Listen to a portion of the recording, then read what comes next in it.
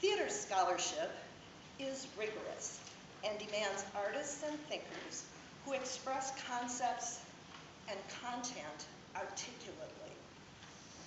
They must explore cultural context with empathy and create worlds, entire worlds, imaginatively. It is imperative that theater scholars think critically and analytically and communicate expertly. Finally, they must collaborate successfully with writers, designers, directors, actors, technicians, musicians, and with their entire community.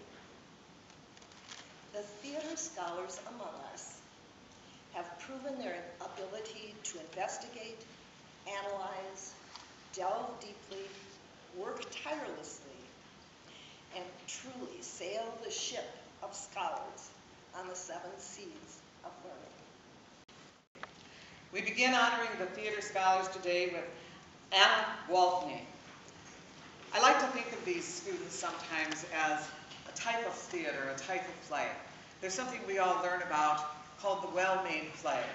It has organization, it has form, it has structure, it has substance, and it's one that you really want to grab onto and work with. Anna is that kind of student. She is described by evaluators as having leadership skills, a wonderful worker, an asset to any program, and a deep commitment to the scholarship of theater. We honor Anna Gwaltney, Academy of Holy Angels, meritorious performance in acting, musical theater, perseverance, and passion.